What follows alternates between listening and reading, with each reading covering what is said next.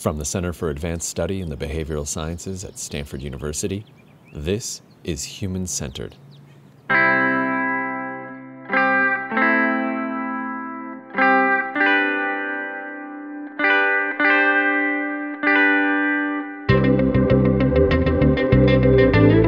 With the decline in civil discourse across party lines, the erosion of legislative norms, and the increasing distrust in our political institutions, democracy in the United States is in urgent need of repair. But what got us to this point, and what can we do to fix it?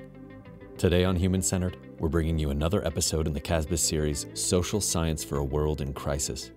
This episode, which originally webcast November 19, 2020, is titled Reforming Democratic Institutions and Practices. And it features panelists James Fishkin, the Janet M. Peck Chair in International Communication and Director of the Center for Deliberative Democracy, both at Stanford University. And he was also a CASBS Fellow in 1987 to 88 and again in 2001 and 2. Martin Gilens, Professor of Public Policy, Political Science, and Social Welfare at UCLA and a 2015 to 2016 CASBS Fellow. And lastly, Janie Mansbridge, the Charles F. Adams Professor of Political Leadership and Democratic Values Emerita at Harvard University and a CASBS Fellow in 1997 to 98 and again in 2001 to 2002. Moderating the conversation is Luis Fraga, the Reverend Donald P. McNeill Professor of Transformative Latino Leadership, as well as the Joseph and Elizabeth Robbie Professor of Political Science at the University of Notre Dame. Fraga guides a discussion of the increasingly visible vulnerabilities in our political and electoral institutions. Together, the panel explores the current state of affairs and how we can reform local and federal institutions to help better inform citizens and expand both public trust and participation in our democracy.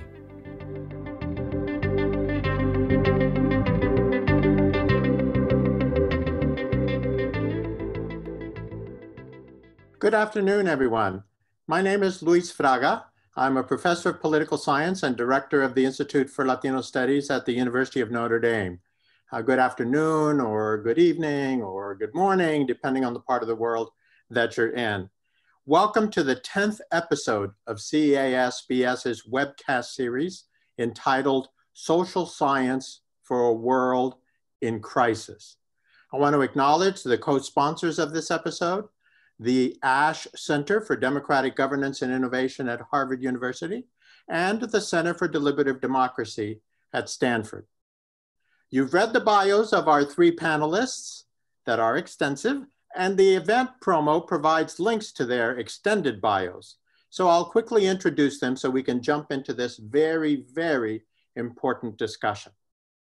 First is Martin Gilens, Professor of Public Policy, Political Science, and Social Welfare, and Chair of the Department of Public Policy at UCLA's Luskin School of Public Affairs. Welcome, Martin. Marty, if I may. Um, second is Jane Mansbridge, who is the Charles F. Adams Professor of Political Leadership and Values, Emerita at Harvard. Welcome, Jenny. And third is James Fishkin, the James M. Peck Chair in International Communication and the Director of the Center for Deliberative Democracy at Stanford. Jim, welcome to our session today. I'm delighted to say that all four of us are former CASBS fellows. A lovely, lovely place to do work. And if you ever get invited, please make sure and accept the invitation. As you know, today's conversation is on reforming democratic institutions and practices an area on lots of people's minds well before the recent election, now during the election and its final certification, and certainly for the future of the United States. Here's how we'll proceed. Each of our panelists will uh, speak for about five to seven minutes or so with some introductory comments. And then we will take your questions. I'll use the privilege of the chair and ask the first question, but then we want our attendees to send in questions through Zoom's question and answer feature. We ask that you keep your questions concise and on point. Given the expected volume of questions, we won't be able to answer all of them, but be assured that the panelists will read them after the event concludes. So let's begin. We're gonna start with Marty Gilens. Marty? Oh, thank you, Luis, and um, thank you to CASBS um, uh, for organizing this event and for everyone who's uh, joined us today um, to listen to it. Um, I want to sort of briefly kind of give my take on a sort of bird's eye view of the failures, um, uh, failures, or maybe I should say a little more charitably, shortcomings of American democracy. And I also want to sort of outline a few of the reforms that I think could make our democracy more functional um, and more democratic. So I see two big problems at the heart of American politics. The first is polarization, which leads to gridlock and means that very little gets done. Pressing problems simply aren't being addressed. And the second is the dominance of moneyed interests in our politics. The role of affluent individuals, um, the wealthy, um, as well as organized interest groups. And what that means is that what does get done tends to be strongly tilted towards the preferences and the interests of those who already have power and influence. And as a result of these two fundamental problems, the rich and the corporations in the United States have thrived over the past, say, four decades or so, while at the same time, the middle class and the poor have seen stagnant wages, increased healthcare costs, uh, deteriorating public services, uh, underfunded schools, uh, and so on.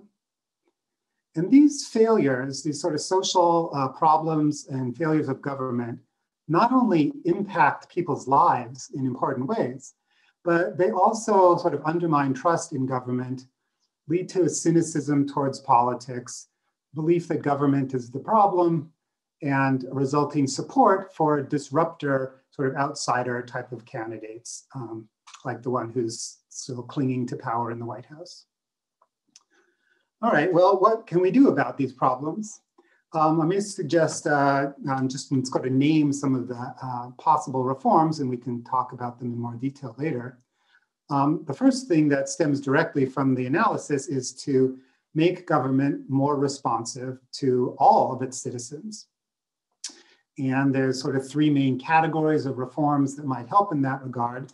The first, and arguably perhaps the most important, being campaign finance reforms.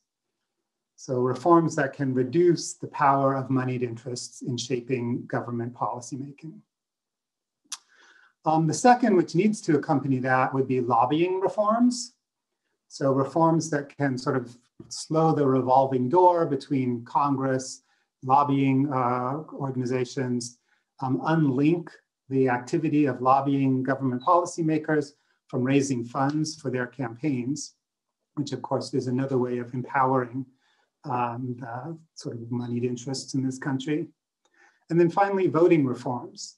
So ways to make uh, voters more representative of all citizens by making voting easier, things like automatic registration, uh, election day holidays, which you know most advanced democracies have, um, and adequately funding our election infrastructure to eliminate the long waits and what are very, often very unequal waits um, to vote um, for minority voters.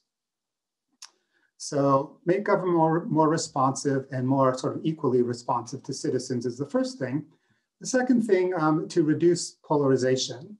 Um, so any of the reforms that would make government more responsive to citizens would also have a tendency to reduce polarization, since citizens are still considerably more centrist um, than the sort of activists who are engaged in politics or the, uh, our elected representatives in Congress. Um, clearly, uh, things we can do that make um, not only government in general, but the parties more responsive to voters will help to pull them back toward the center and again away from sort of activists and uh, interest groups that are associated with each of the parties. Uh, another thing we can do is to make elections more competitive, which again will help to pull candidates and therefore office holders toward the middle of the political spectrum. So things like eliminating gerrymandered one party districts, where uh, candidates really only have to appeal to members of their own party. And even at that, um, to the sort of more extreme and activist members of that party who turn out in primary elections. And that leads to a sort of third uh, reform that could help to reduce polarization, um, which is uh, voting reform. So the way we sort of organize our um, electoral system. And uh, in recent work that I've done with uh, Ben Page, um, we advocate abolishing primaries altogether and instead moving to ranked choice voting in general elections, um, even uh, in multi-party, uh, sorry, multi-candidate districts, um, which may also turn out to be multi-party with a ranked choice voting system. Um, and that again would be a mechanism that would force candidates uh, to appeal to sort of the broad range of constituents in their area rather than only uh, members of their party. And finally, while I tend to uh, sort of shy away from anything that sort of seems partisan in my recommendations, I do think that we have to address another uh, sort of failure in American democracy, and that is that we have a system which is currently tilted fairly strongly and significantly toward the Republican Party. Uh, so the 47 Democratic senators now represent about 15 million more Americans than the 53 Republican senators. And of course, the Senate um, uh, has you know, long been tilted toward uh, smaller states and, and, more rural states. Um, typically, Democrats get a larger percentage of votes in the US House than they do seats in the House. And of course, we've seen how the Electoral College has handed the uh, sort of loser of the popular vote, the White House, in two of the last six elections, um, in both cases, uh, Republican candidates.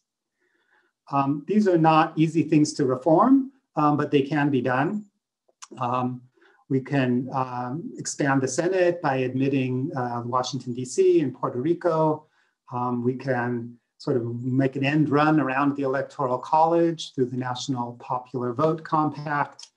Um, by reducing partisan gerrymandering, we can bring representation in the House of Representatives more in line with the actual votes across the country for the people who serve in that body.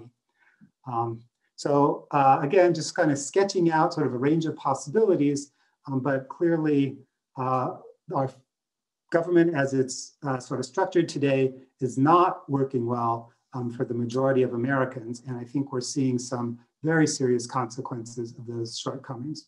So I look forward to discussing more shortly. Thank you.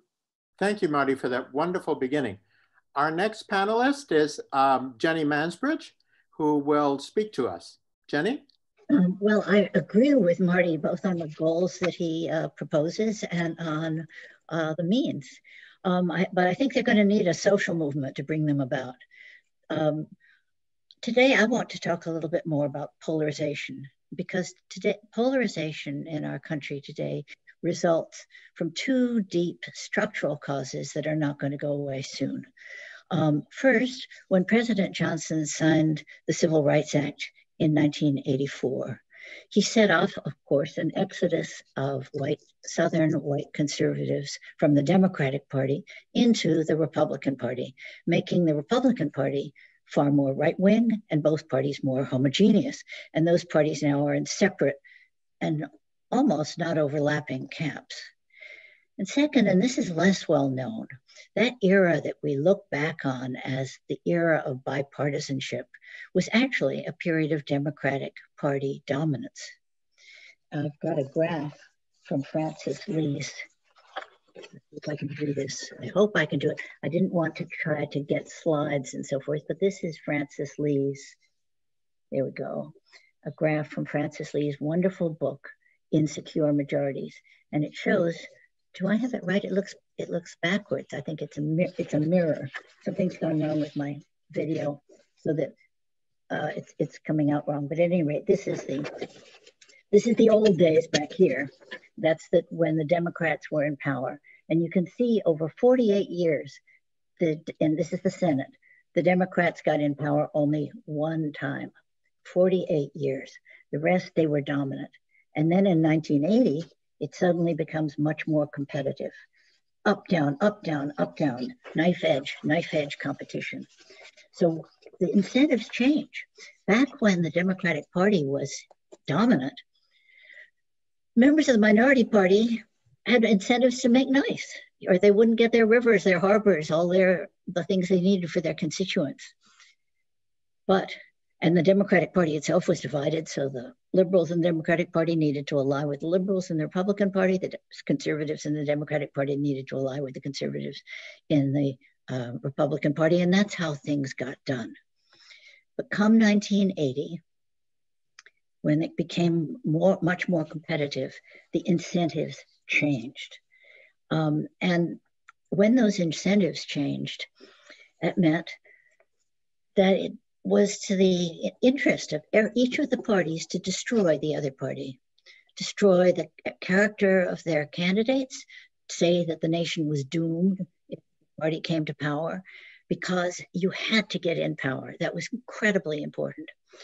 And so we see that right now in Georgia. We've got a knife edge competition going on. So when the stakes get that high, the knives come out. And as the parties changed, so did the affections and sentiments of the citizens. So in 1960, only 4% of Democrats and 5% of Republicans would have been unhappy if their children married into the opposite party. But by now, some 40 to 60% of Republicans and Democrats would be unhappy if their child married someone in the opposite party. So that's the new normal and it's exacerbated by social media. What can we do about it? Not, not a lot, I'm afraid, but I, we can try, and I'm going to suggest quickly three ideas. First, we can use the citizens themselves, bring them together to deliberate. Jim will talk about that in a moment. Um, secondly, we can find ways of trying to connect the uh, representatives with their constituents and administrators with citizens in a way that's much more responsive, mutually responsive than we've got so far.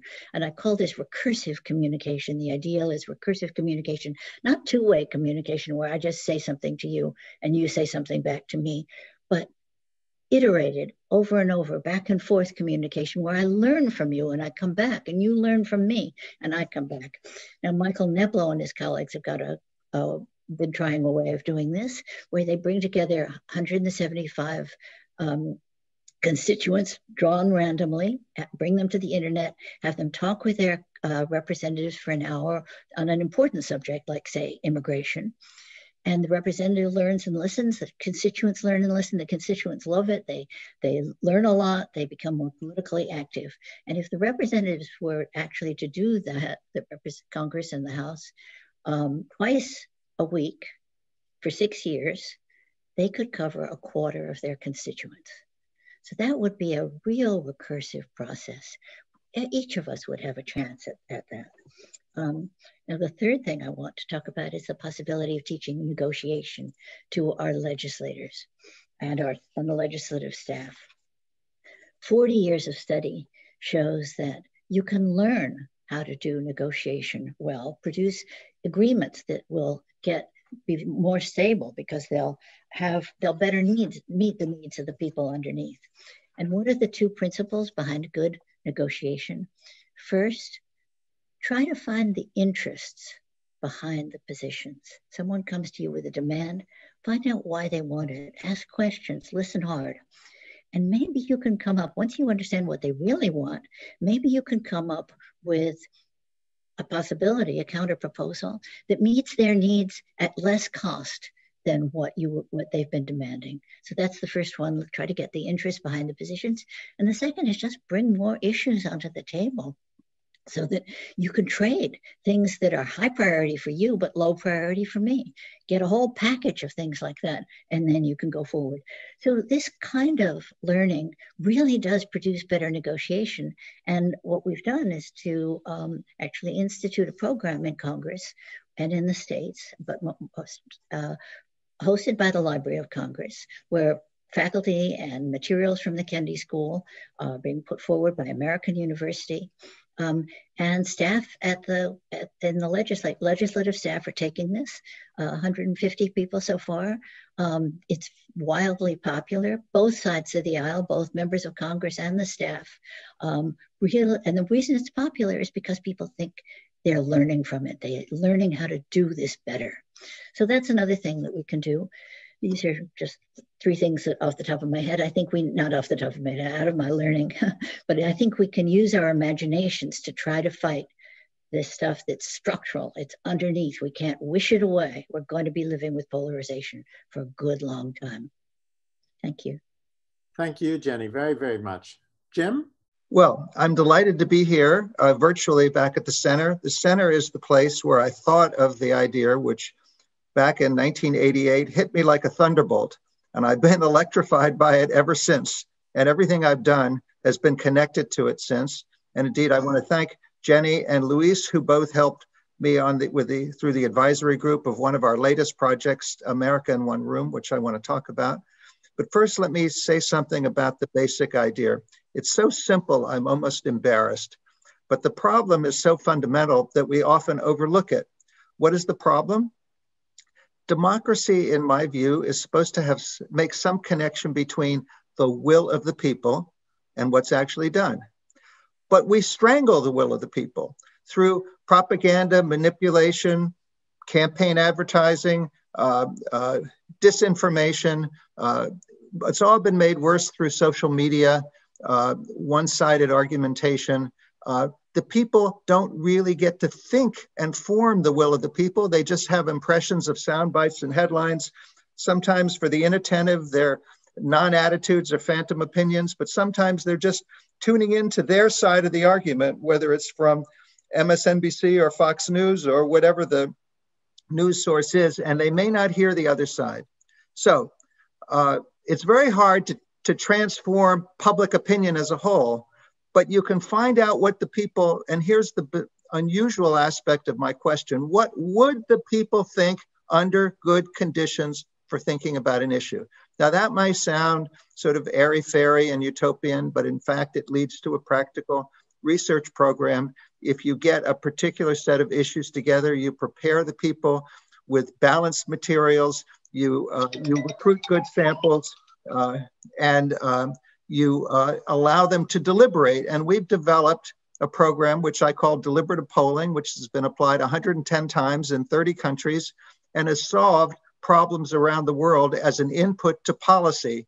Uh, now, the uh, most recent iteration of this we called America in One Room, where NORC from the university at the University of Chicago recruited an excellent random sample of 530, 526 people who came to a big hotel near Dallas, Texas in September before on the eve of the primary season, and they deliberated in depth uh, and under the supervision of the advisory group, two of whose distinguished members you see before you, about the um, uh, trade offs in uh, five big issues, including immigration, healthcare, the economy and taxes, foreign policy. Uh, I mean, a, a really um, uh, broad set of issues, 49 policy proposals. And we inadvertently discovered something about polarization, uh, which is now my current preoccupation as well. Because when the people deliberated together, we, on the 49 pol- policy proposals, we identified this is four days of deliberation, and we had a control group from NORC. On the four days of on the 49 policy proposals, we decided 26 represented extreme partisan polarization, where the Republicans were on one side, the Democrats were on the other. Uh, 15% of each sample uh, of each took the uh, most extreme possible positions, and you would think those opinions were intractable. Well, in fact, um, uh, the uh, there were massive changes of opinions. For example, Republicans uh, who wanted to send all the undocumented immigrants back to their home countries. Uh, 80% wanted that before deliberation, only 40% afterwards. Democrats also changed as much as 40 points. There, there, were lots of changes like that. Democrats also changed as much as 40 points on the most expensive uh, progressive proposals. Uh, and uh, for example, the Cory Booker's baby bonds was supported by 60% before deliberation, only 20% after deliberation. Well, we got these big changes of opinion on these highly partisan proposals because people opened up and they were considering both sides of the argument. They were considering the reasons. They weren't just being triggered by the talk shows uh, and they were thinking in depth.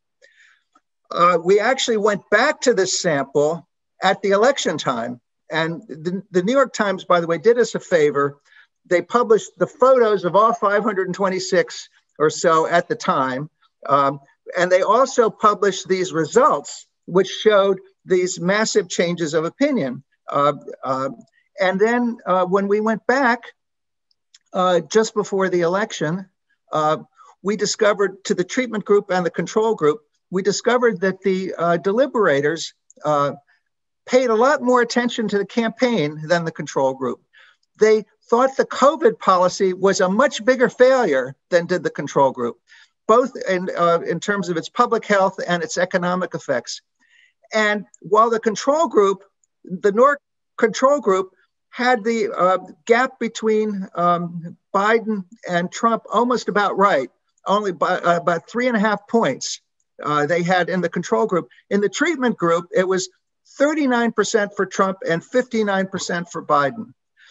And we're now we're, we're, we're analyzing in every way possible how could such a big effect? Now, that's not meant to be predictive. This was a what if, this was an experiment.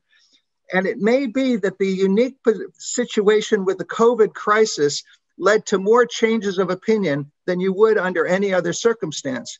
Nevertheless, it showed that we think we sensitize these people to become much more active uh, uh, observers and participants in the public dialogue and the campaign. We created more engaged citizens. And a lot of the movement was from independents. You know, there's a myth about the, ind- the you know, all of the literature about the myth of the independent voter.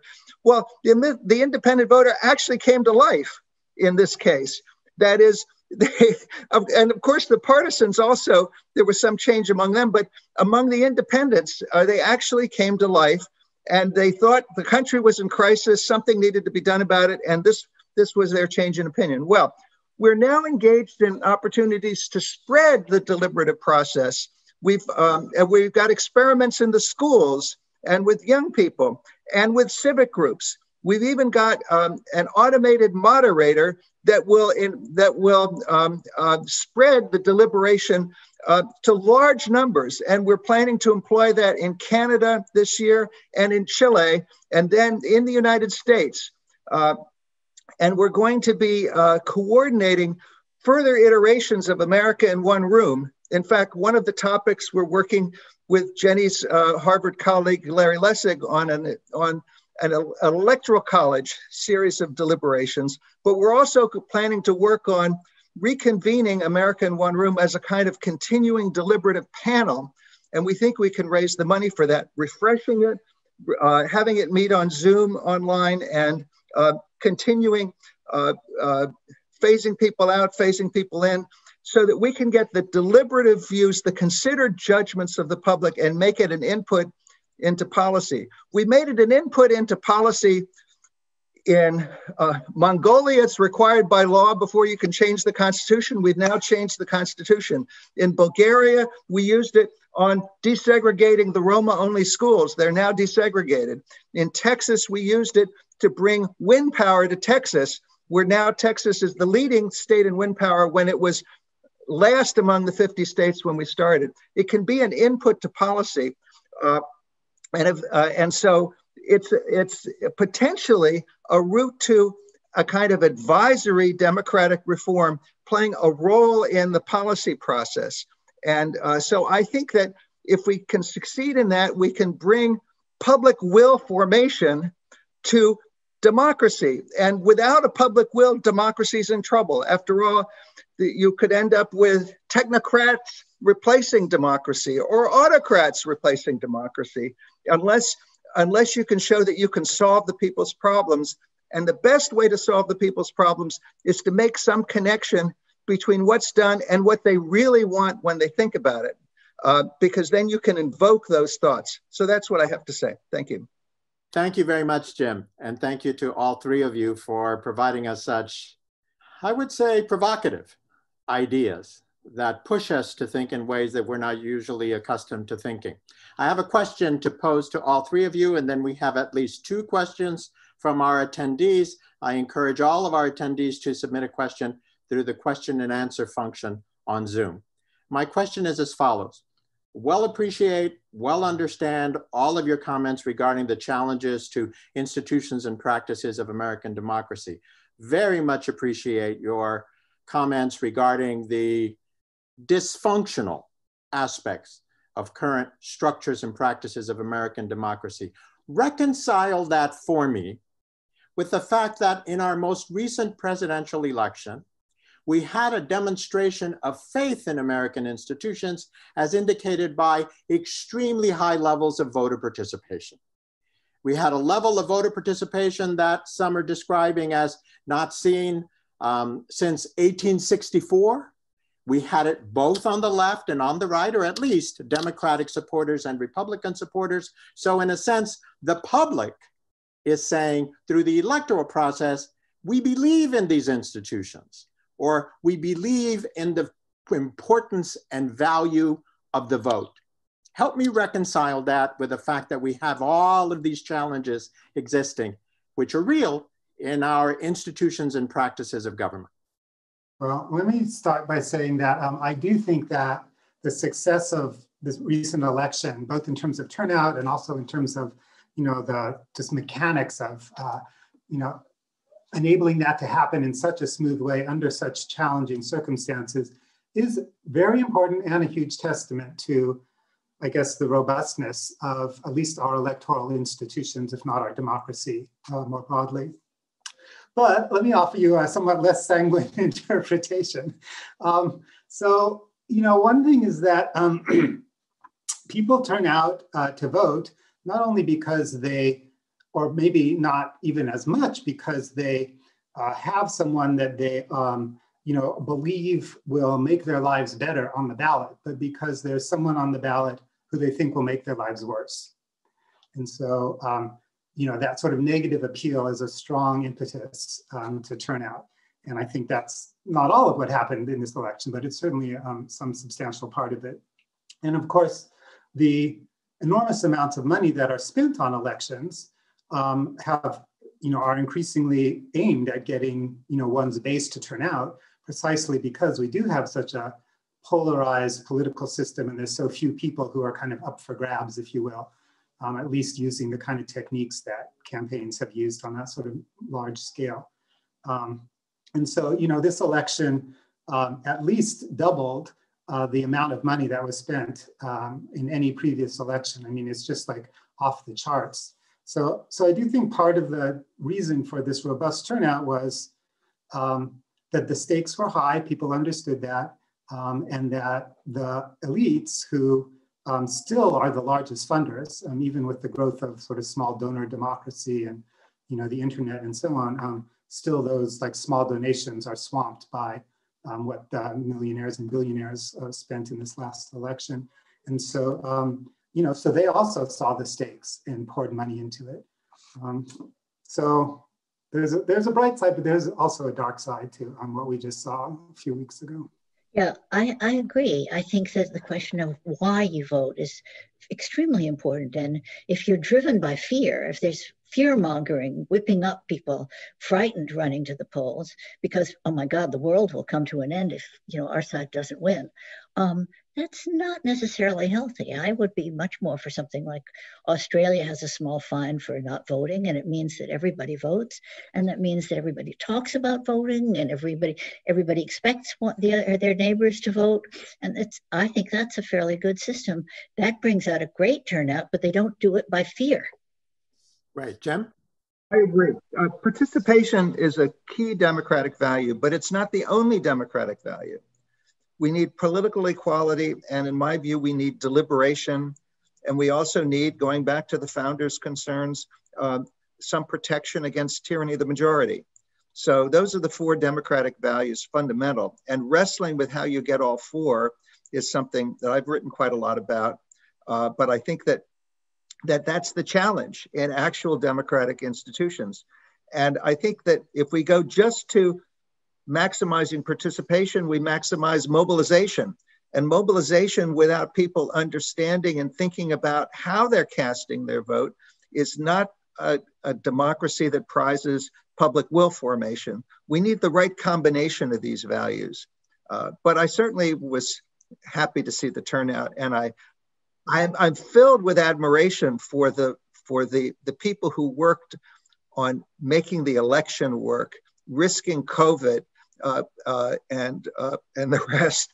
And I'm glad that that the uh, efforts to um, uh, uh, subvert the the vote counting process and the you know potential you know interfering with the voting machines and the rest none of that happened uh, and um, so a successful election is good necessary but not sufficient for what we should be aiming for and what we need to regain the public's trust and legitimacy in the democratic process. Democracy is is is at is in low regard all over the world because it seems to produce deadlock and conflict.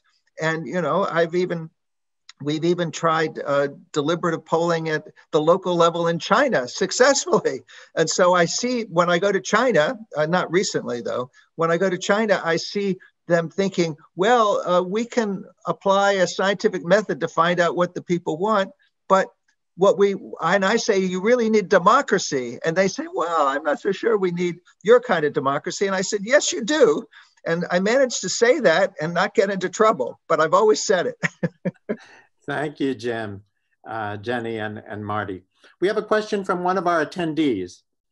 Is critical thinking disappearing to the point that misinformation has a very hard time being detected? And what can we do to encourage people to be more engaged in an informed way? I think critical thinking has to be fostered, but it, it needs a social context to really thrive, which is why we try, we're trying to put deliberative democracy efforts in the schools and in civic groups. It's a lot harder to think critically by yourself because if you're just examining yourself, you may not really be exposed to the competing arguments and thoughts. So we need to provide more and more social contexts where people will, in a mutually respectful way, learn to listen to each other. So that leads to education reforms, reforms of civic life, and it's very complex in a world of social media. But I think we need we need experimentation with that. We're we're trying to do our part, but there should be a vast effort in that way. We can't just expect people to sit at home and be critical thinkers without a social context. Thank you, Jim. Let me pose another question from our attend one of our attendees. This is for Marty. For the ideas you mentioned for spending more money on education and infrastructure, how realistic is it for those ideas to be implemented in conservative states like my home state of Texas? And Texas is actually my home state. It's where I was born and raised. Um, in those states, residents see the goal of government as many of those residents as emphasizing less taxes. There's no state income tax, for example, and less regulations with minimal government interference. I mean, clearly that's uh, going to be a challenge. Um, but as we saw, even in this election, um, you know, places like Texas are sort of tending blue, and um, presumably that does reflect uh, sort of, you know, liberalization of attitudes towards uh, towards government. Um, but I would say whether it's in Texas or elsewhere, that the sort of more fundamental issue is um, that citizens have lost trust in our government right? That um, the notion that like government's going to be something that improves their lives rather than just imposes regulations or taxes them um, has been, you know, something that um, you know the Republican Party, of course, has um, you know sort of uh, promoted that view for um, for decades, um, but the Democratic Party has bought into it as well, right? And so you know, Clinton arguing the era of big government is over and um, even Obama saying uh, not that long ago that you know he's not a what did he say something like a not a crazy big government liberal. Um, so I think you know this like current of you know government is is uh, can't be looked to to solve our problems. Um, it's only going to increase problems, and if that's the case, then of course the less government the better, and the lower taxes and let people do it on their own. But that certainly wasn't always the case you know, in the 50s and 60s, I think people, you know, viewed government as a positive influence across a wide range of areas. And, and even still today, things like education. I mean, I'd be shocked if the vast majority of citizens of Texas don't think that we should be that they should be spending uh, more money um, on public education.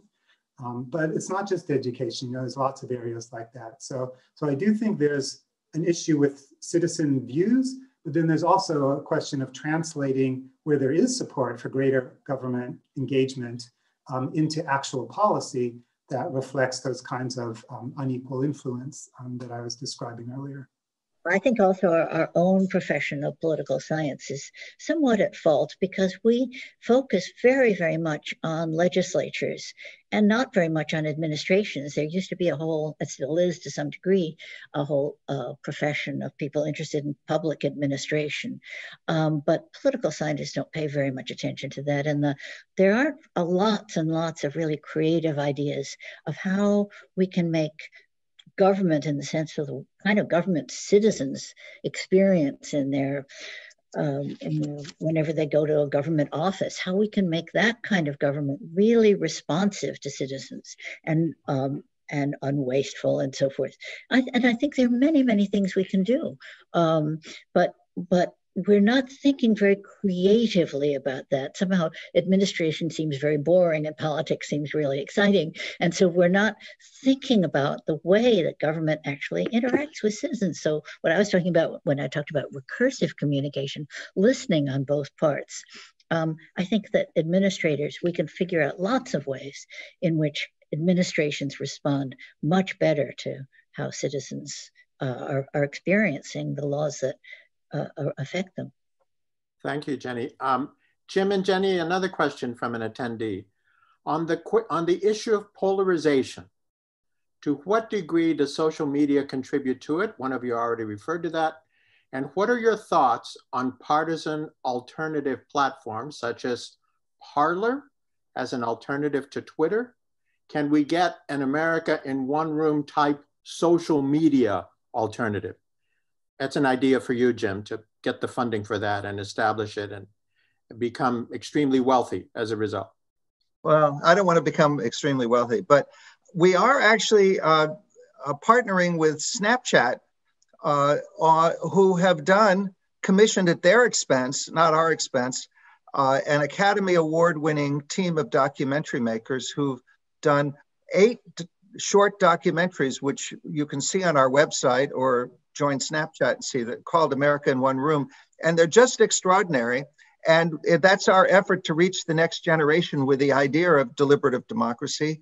And Alice, who I work with, just wrote me today about uh, kids in New York who saw the Snapchat and organized a, deliberation uh, uh, in, in their school. Uh, and she's been helping them, but it's sort of spreading spontaneously. Anyway, they're very talented documentary makers, and I would um, urge you to see that. So, but we think that just scratches the surface. Social media could be used constructively, uh, but right now it's just uh, it's so much. It's used to uh, facilitate communication among the like-minded without any filtering. The filter bubbles don't have any further editorial filtering, and people just share whatever instant rumor or thought they have, and that is not um, uh, conducive to um, to deliberation, but uh, uh, by its in its current form, I think. Also, Facebook could could find ways of convening deliberative uh, assemblies of citizens on Facebook. We've got a couple of citizens, uh, students at the Kennedy School right now uh, who are trying to work out how that could happen. And they could do the kind of thing that Michael Neblo is doing, facilitating groups of citizens on Facebook talking with their their representatives. So there's quite a lot that can be done in that regard. I would add to that that while the sort of polarizing nature of social media is clearly problematic, that that's not the source of our political polarization in this country. It's very clear that partisan polarization is something that was elite led and still is mostly something that occurs um, at the elite level. So if you look at, say, the members of Congress, you can see there's been like a hollowing out of the center. And we've, there's just, you know, two big humps of conservatives and liberals with virtually no overlap. But if you look at the population of American citizens, it looks the opposite. Most people are still piled up in the middle with, you know, small peoples at, at both extremes.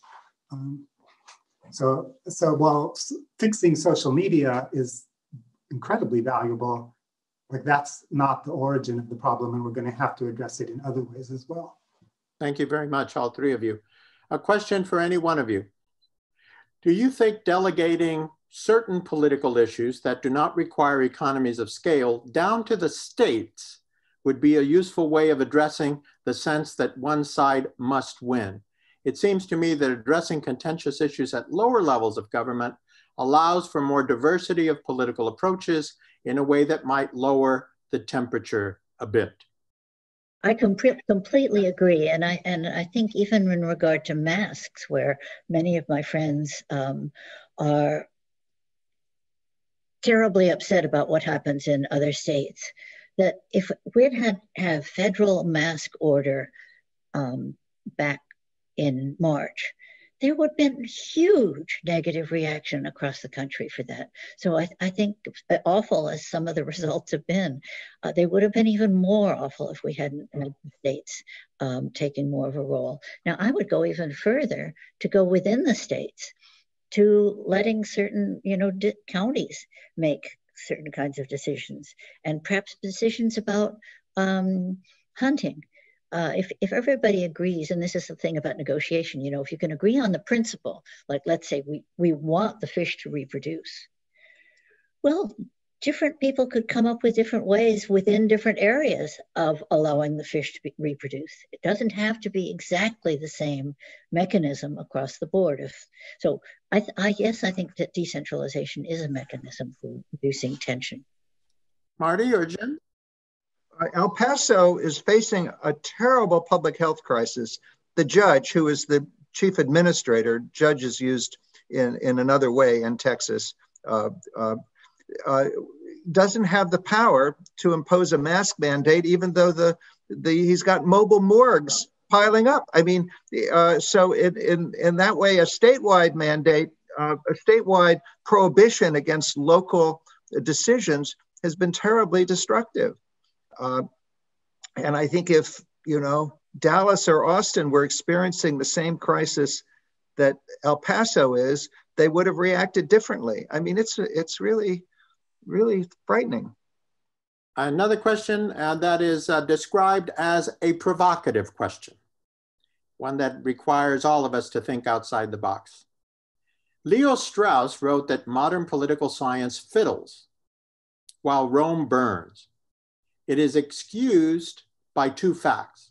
It does not know it fiddles, and it does not know that Rome burns. The panelists' suggestions all sound like fiddling to me. How do we change the system in, a, in fundamental ways? Marty? Well, um, I guess I'd say um, first that um, not insignificant number of political scientists would probably agree today with um, at least the thrust of that critique. Um, and in fact, there's been a movement within the discipline over the last couple of decades now, I guess, um, toward a more sort of engaged and bigger picture um, kind of social science. Um, and I think that um, all of the people on the Zoom today are part of that engagement with big pictures and, and important issues. And so, so, uh, so that'd be the first thing I'd say. The second thing I'd say is that I think political scientists or not, people are aware that like Rome is burning, so to speak. Um, there's widespread agreement that um, democracies across the world and certainly in the US are not working well. Um, and then as far as, um, you know, fiddling goes, well, um, I guess one way you could put it is, uh, you know, if American politics is an orchestra, then it's composed of like lots of different musicians. And you know, if if the fiddler's out of tune, we need to address the fiddler, and we maybe we also need to address you know the timpani player who's like not in uh, you know in tune, in time with everybody else. Um, but it's not like there's going to be one solution that we can say you know this is what we need that will fix all of our problems. So in some sense, I think it's just realistic to think that we need to address lots of different issues. We need to address people's, you know, under levels of understanding and um, uh, engagement and um, uh, information. And we need to address how those views and preferences get translated or not into government policy and so on. So, um, yeah, it'd be great if there was like one, you know, mechanism that can solve it all. Yeah, but there is one, there is one big, big thing, and that's the inequality. Um, and when Leo Strauss wrote those words, there wasn't the kind anything like the kind of inequality. We've seen this huge surge in inequality in the United States, and Marty's proposals for getting money out of politics and so forth to go directly to that issue of inequality. And I, I think that is a Rome, that's part of Rome burning. And I think that's a very big solution to it or a way of attacking it. Great. Uh, question for Jim and perhaps for Jenny. Deliberation appears to be an incredible mechanism to resolve some kinds of polarization, but it appears so hard to instigate deliberation on a large scale, in part due to the design of platforms we use to communicate at scale, such as Twitter. How might we invite more deliberation across political boundaries at scale? Well, I referred to, I mean, it's a big challenge, uh, but I referred to uh, our development with Stanford uh, engineers uh, and Ashish Goel in management, science, and engineering, uh, developing this platform, which we're now starting to use online. Uh, I call it the automated moderator, uh, but we're looking for a sexier name for it. Um, it actually has my collaborator Alice Siu's voice, so I call it Alice, but she doesn't know whether we should call it Alice, but it facilitates a small group discussion on and um, enforces civility, access to the microphone in the queue, um, and um, uh, it uh, uh, has the group develop a, a, key question or concern, which can then. so she's been using it around the world, and it works great. We just used it last week in Stanford, we're using it, uh, but uh, we used it in uh, Tokyo.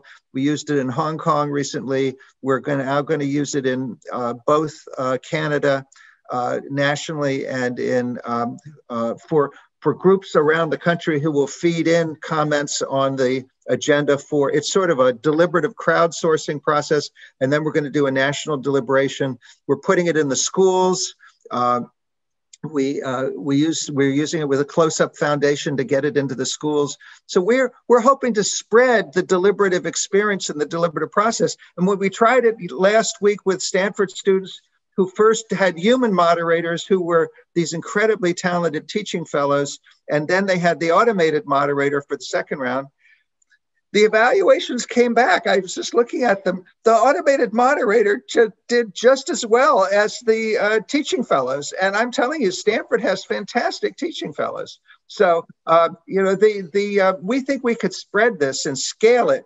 Um, and we've got algorithms to recruit the people via social media. And we would like to, in the Chilean project, which is sponsored by the Senate and sponsored by CNN, and in fact, uh, several other television networks, which will happen in the spring, our spring, there will be a, um, a national deliberation uh, about pensions and healthcare and some of the constitutional inputs.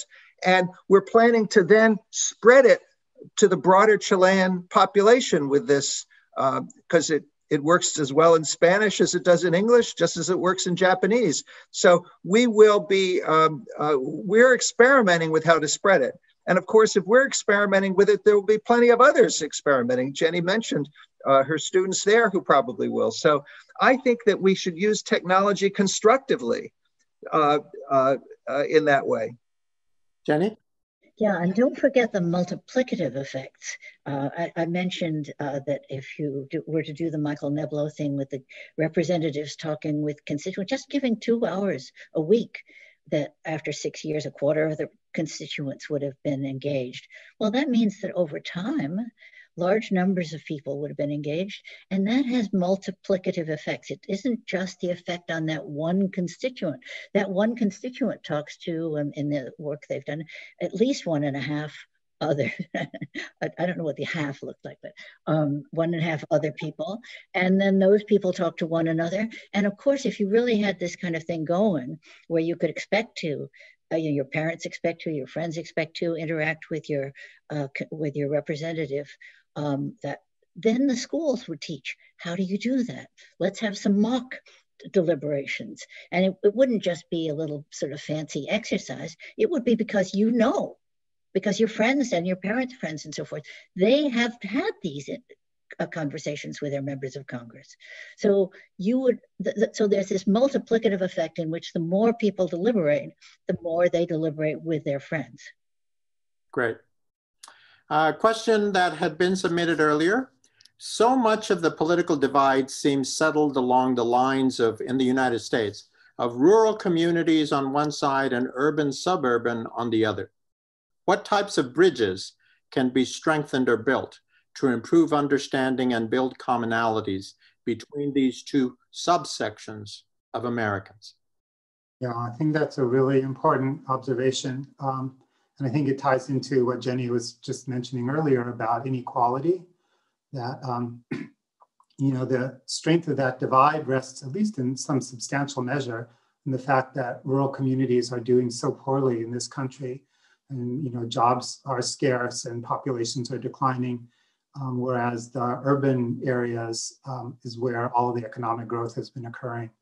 Um, and so, um, yeah, I think uh, it's going to take not just sort of a social or cultural bridging, but an economic, you know, there, there are fundamental reasons kind of behind those um, divergent understandings of, uh, you know, of, of, government and policy and, and indeed of the world.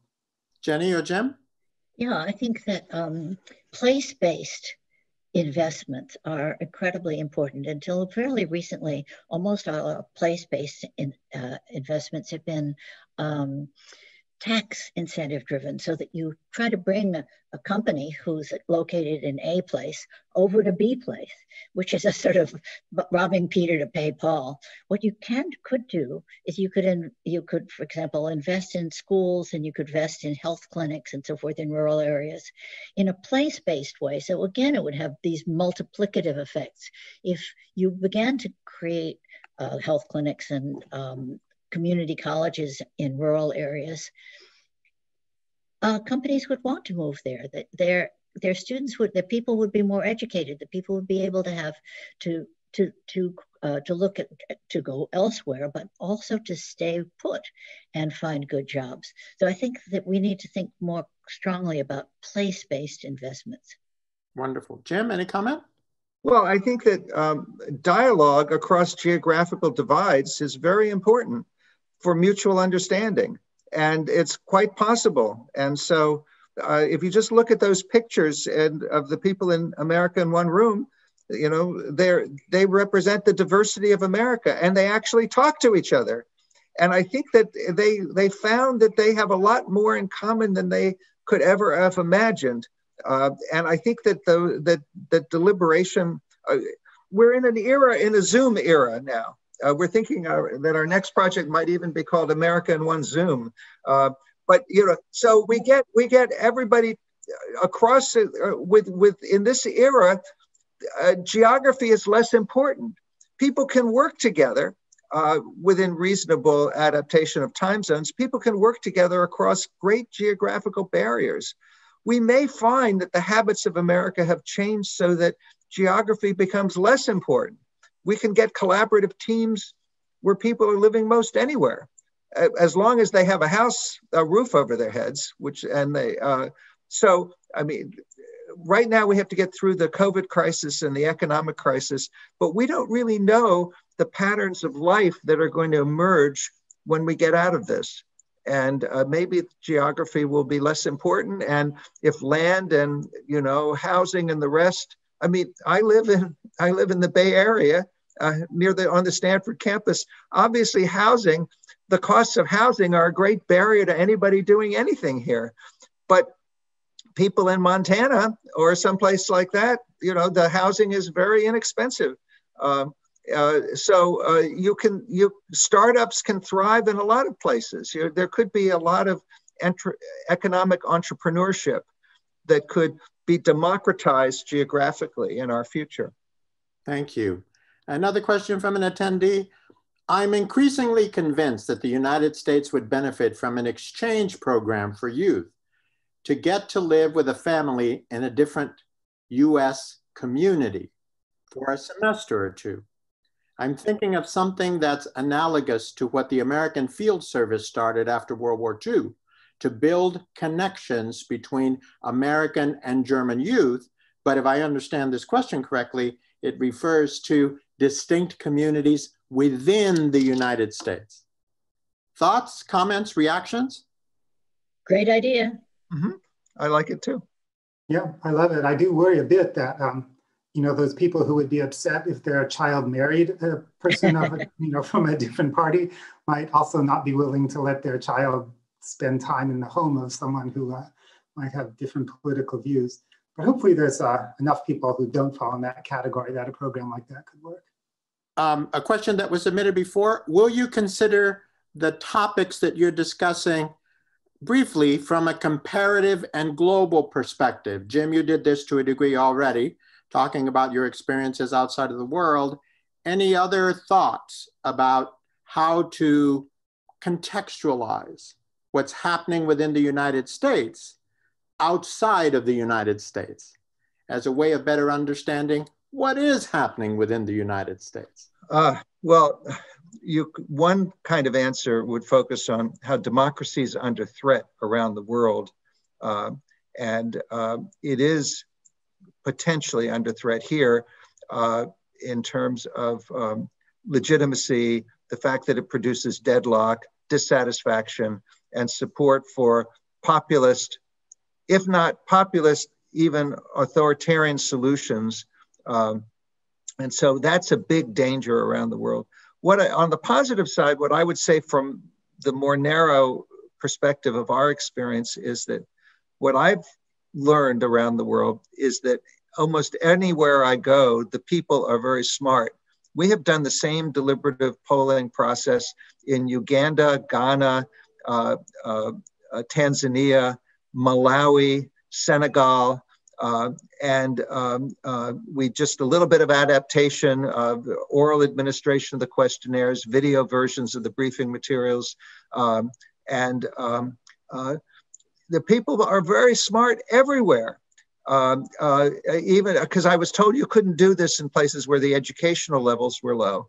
Uh, and so I think that, um, you know, we have political science colleagues who've made a good living by questioning uh, whether, uh, you know, by saying the people aren't very smart, they don't have a capacity for self government.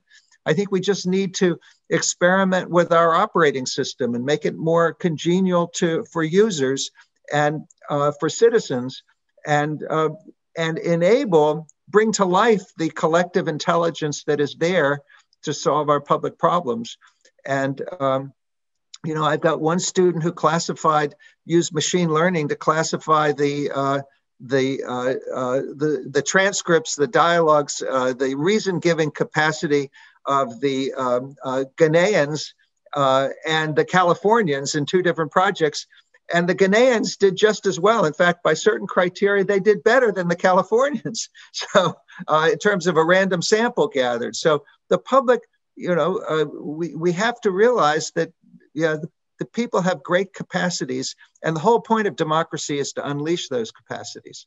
Yeah, and I think we can learn now that we're living in a much more globalized world, we can learn so much from one another. So Brazil starts a participatory budgeting and it spreads around the world. Um, Iceland and uh, Finland starts a wonderful thing of crowdsourcing. Other East, uh, East Belgium now is is got these ongoing citizen assemblies, uh, also uh, drawn from randomized groups, but now part of their their established democracy, um, commissioned by the government and now part of the established democracy. So all of these experiments are being tried around the world and we can learn from one another um, because we are so much more connected. Yeah, I, I completely agree. I think, um, you know, Americans have tended to be, um, you know, somewhat blinded, um, thinking of us as a very, you know, unique place and um, across all different kinds of like policy areas, healthcare and so on. Um, but there is actually a fair bit of experimentation, even within our own country, that is informed and can be informed by others' experiences. Um, so we see places like Maine and, and many cities that have adopted voting systems, um, like ranked choice voting, that are used um, in places like Ireland or Australia. Um, you know, we know that multi-party democracies tend to do a better job of translating citizen preferences into government policy and, and engaging with citizens. Um, and so, you know, we, there are many lessons to be taken, and I do think that um, there are some that are being taken, but there's a, just a wealth of experience, um, like Jenny was saying, that, um, that we should be drawing on much more even than we do. Marty, could you briefly explain ranked choice voting to all of us? Sure. So the idea is that within one election, someone who goes to the voting booth would rank each of the candidates um, that they're interested in. They may not want to rank them all, but um, whatever candidates appeal to them. And the idea is that um, in the kind of system that we have, where there's two parties, it's virtually impossible for any uh, third party to get going because um, people feel like they're wasting their votes if they are voting for a candidate that can't possibly win. With ranked choice voting, people can put the person that they care about most first. And if that person gets too few votes to be a contender, then the votes um, of their supporters get transferred to like their second choice candidate. And so you can feel like your vote is going to make a difference. And if you prefer, you know, the green candidate, um, but, but your second choice is the Democrat over the Republican, you don't have to choose um, whether to vote for the Democrat or the Green candidate. You can rank them and, um, in a sense, uh, express your full range of preferences. And um, this is a way to give a third-party candidates, centrist candidates who might appeal to some, you know, on the, some voters on the left and some voters on the right, a way to kind of move up in the rankings. Um, and, um, and if it's used in a multi-candidate system where instead of voting for say, one representative um, for the House, uh, for example, um, there might be like four or five or six from your district, then again, they could be spread across a variety of parties, a variety of perspectives within the same party, and allow voters to have a sense that there's some candidate that they're voting for that actually aligns pretty well with what they want. And they're not just forced to choose kind of the lesser of two evils. There are communities in the United States who have used, who use ranked choice voting, are there not? Yes, a number of cities have done so for a long time. And uh, Maine has um, for its federal elections for the last uh, couple of election cycles. And um, it's a little bit more complicated, but it seems that in those places, people like it and you know they're able to deal with whatever degree of complexity is involved in uh, you know, having uh, preferences across numerous candidates rather than just uh, say two. Jenny? Cambridge, Massachusetts, in which I live, has ranked choice voting and it has it for a very long time. I used to oppose ranked choice voting because it undermines uh, the two-party system, and I thought I think that a two-party system gives clearer alternatives to people. So I um, that so I used to oppose uh, now, with the extraordinary polarization that we see, and with the causes of polarization so embedded, so difficult to change, those two causes that I talked about, the comp competition of the parties and also um, the, the homogeneity of the parties. Because of those two reasons, the polarization has gotten out of control. And we need to take, I think, somewhat drastic measures and ranked choice voting would help both uh, both because it would produce more alternatives, but also the way it works is you're aiming to get everybody's first vote, but you think you might not get 50% of the vote. And if you might not get 50% of the vote, that means you're going to need some of those other votes down the down the ballot. Once those candidates are eliminated, those ballots will be re redistributed to the other candidates.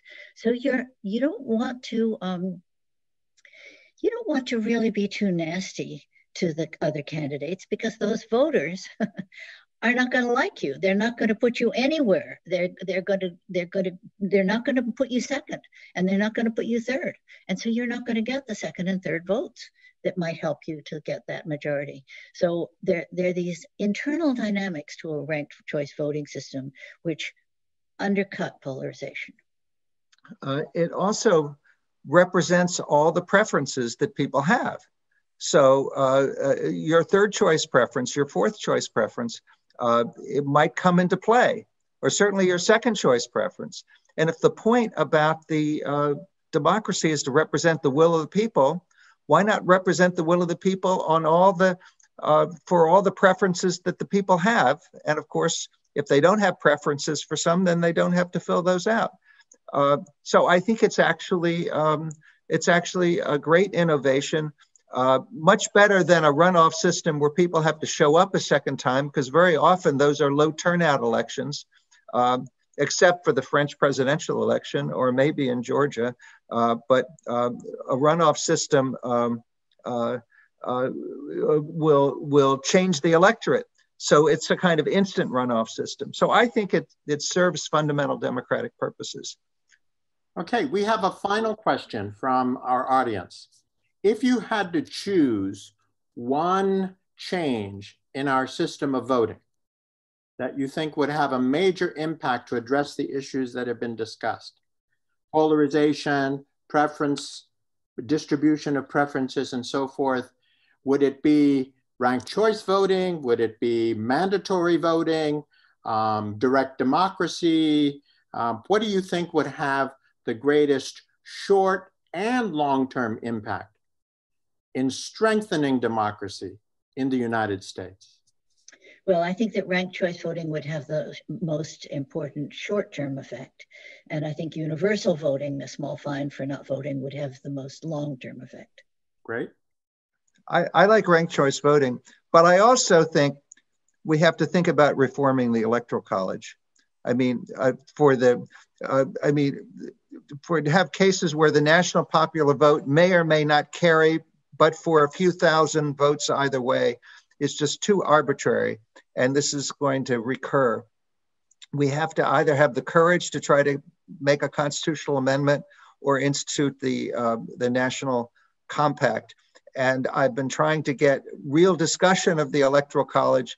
And some of my colleagues have said, oh, requires a constitutional amendment. We can't even consider that. And then I point to the 19th Amendment and how long it took women to get the vote, and how often people said, men will never give up that power. And they did.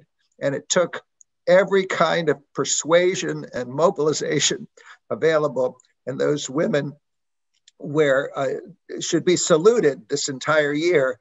But in another way, for a different kind of reform, we should get rid of this 18th century trap that we have in the Electoral College. That's my personal view. Marty? And I would have to go with campaign finance reforms um, as the single most important reform. Great. Well, um, a big thanks to our panel for the conversation. How about a round of applause for everyone who participated, who submitted questions, and who spoke to us? I also want to thank again the event's co-sponsors, the Ash Center for Democratic Governance and Innovation at Harvard, and the Center for Deliberative Democracy at Stanford. A heads up, details about the next episode or the next event in CASBS's series, Social Science for a World of Crisis, and how to learn more about the series is coming on your screen in just a few seconds. And thanks to a great moderator. Absolutely. Thank you, Jim. Thank you, Marty. Thank you, Jenny. Thanks again to the panel, and thanks to everyone, everyone for joining us today. It shows how interested people are in these fundamental questions of how to strengthen and broaden American democracy. I'm encouraged by seeing this level of interest across a broad cross section of our public. Again, thank you to the panel and thank you to our sponsors and thank you especially to the Center for Advanced Study in the Behavioral Sciences at Stanford. That was James Fishkin, Martin Gilens, Jane Mansbridge, and Luis Fraga discussing reforming democratic institutions and practices. You can learn more about this event and others in the Social Science for a World in Crisis series by visiting the CASBS website at casbs.stanford.edu, or you can find us on Twitter, we're at CASBS Stanford. We've got more CASBS live events coming to the human centered feed, and of course, more original interviews exploring the work of fellows here at CASBS. So be sure to subscribe in your podcast app of choice. You won't want to miss those. Until next time, from everyone at CASBS and the Human Centered team, thanks for listening.